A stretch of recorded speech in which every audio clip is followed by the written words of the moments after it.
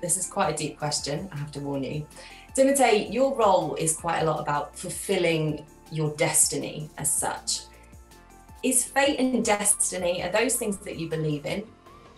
Wow, great question. Um, you could be the master of your fate, you could be the captain of your soul, but you have to realize that life is coming from you and not at you.